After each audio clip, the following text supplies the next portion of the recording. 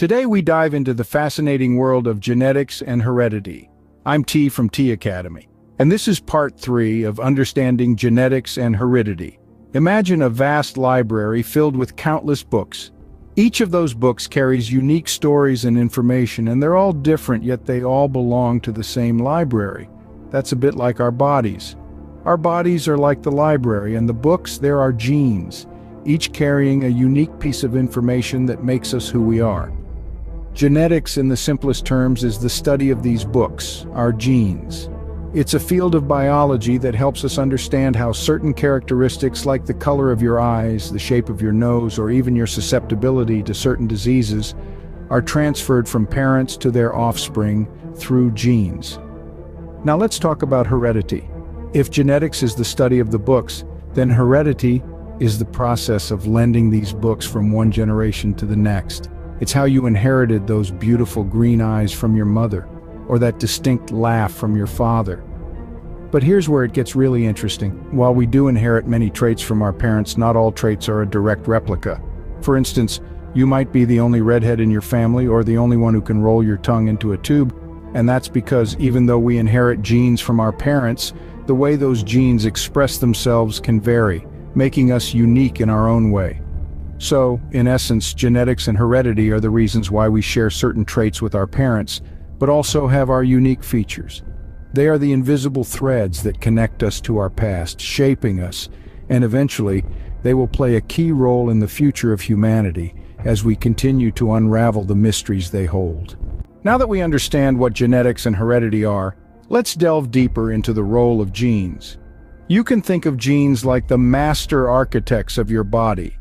They are the blueprint that determines your traits, from the color of your eyes to the shape of your nose, even to how tall you will grow. Each of us carries thousands of these genes inherited from our parents, and they are what make us uniquely who we are. Imagine genes as a set of instructions written in a language that only our cells can read. These instructions tell our cells what functions to perform, how to grow, and how to develop. It's like a manual for building a human being, from the ground up. Let's simplify it a bit more. Picture a vast construction site bustling with activity. Each worker on the site has a specific role and task. In our bodies, the workers are the cells and the genes are the foremen, providing the workers with the instructions they need to perform their tasks. These tasks could be anything from creating a protein to repairing damaged tissue. Genes don't just dictate how our bodies look and function, they also play a significant role in our health. Certain genes can make us more susceptible to particular diseases, while others can provide us with resistance. Furthermore, genes can also influence how we respond to our environment. For instance, some people have a gene that makes them more likely to enjoy the taste of broccoli, while others may have a gene that makes them more sensitive to the sun. It's fascinating to think about how these tiny, invisible entities within our cells have such a profound impact on our lives. They are the unseen puppeteers pulling the strings and shaping our lives in ways we often don't even realize. Genes are not our destiny. They merely provide a starting point. Our environment and lifestyle choices can also play a significant role in shaping who we are. So our genes are like an instruction manual for our body directing how we should look, grow, and function. So far we've discussed that our genes dictate our traits, but, but is it just our genes or does the environment play a role too? Let's get into that. You see, our genes are like the tuning knobs on an old radio. They can be turned up or down, on or off by environmental factors. This interaction between our genes and the environment is a fascinating area of study known as epigenetics. The term EPI is Greek for over or above. So epigenetics literally means above genetics. To put it simply, while our genetic code lays out the basic blueprint for our bodies, it's the environment that influences how this blueprint is read and implemented. The environment doesn't change the DNA sequence, but it can determine whether genes are switched on or off.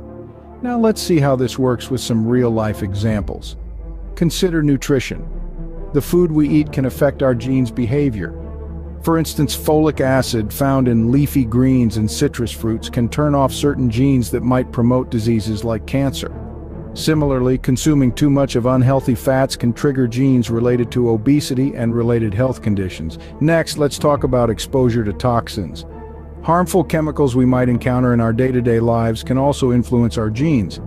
For instance, exposure to tobacco smoke can switch on genes that lead to lung disease. Stress is another factor that can alter our genes.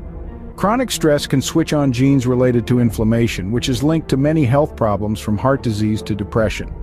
Physical activity, on the other hand, is a positive influence.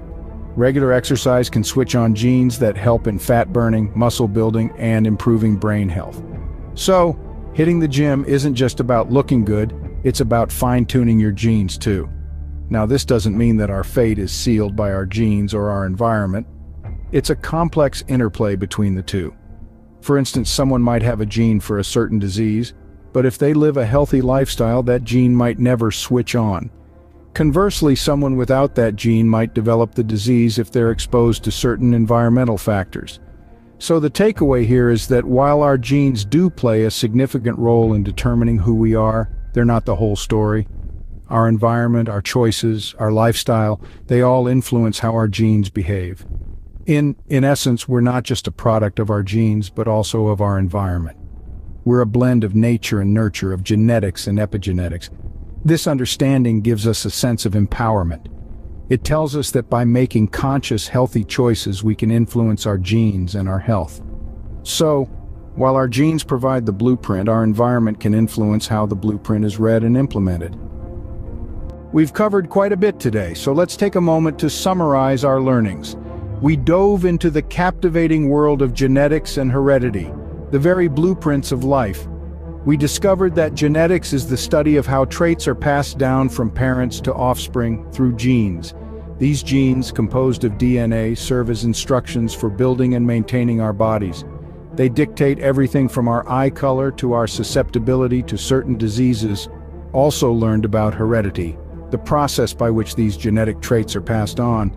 It's a bit like a biological lottery, with each parent contributing half of their genes to create a unique combination in their offspring. This is why siblings can look similar but not identical, each carrying a different mix of their parents' genes. The influence of genes, however, is not absolute. We spent a good deal of time discussing the pivotal role of environmental factors on genetic. Environment in this context doesn't just refer to our surroundings like where we live or the climate. It also includes lifestyle factors such as diet, exercise, and even stress levels. Environmental interactions can turn certain genes on or off, a process known as gene expression. This is why identical twins, despite having the same genetic makeup, can end up with different health outcomes. One might develop a disease the other doesn't simply due to differences in their environments and lifestyles. Understanding these concepts is crucial, Genetics and heredity not only impact our health, but they also shape our identities. They play a part in determining our physical traits, our talents, and even some aspects of our personalities. But the role of environmental factors reminds us that we are not simply products of our genes. Our choices, our actions, and our surroundings can have a profound impact on our genetic expression. In essence, we are complex beings, a blend of nature and nurture, our genes may lay the foundation, but our environment helps to build the structure. This understanding can empower us to make healthier choices, to better understand ourselves and others, and to appreciate the diversity and complexity of life. So, as we conclude today's journey into genetics and heredity, remember this. We are more than the sum of our gene. We are dynamic, ever-changing beings, shaped by an intricate interplay of genetics and environment. While our genes set the stage, it's the interplay with our environment that truly shapes the performance. Don't miss out on the opportunity to visit my Telegram channel and participate in the quiz I've curated to test your knowledge of today's subject matter. Until next time, keep exploring, keep learning, and keep growing.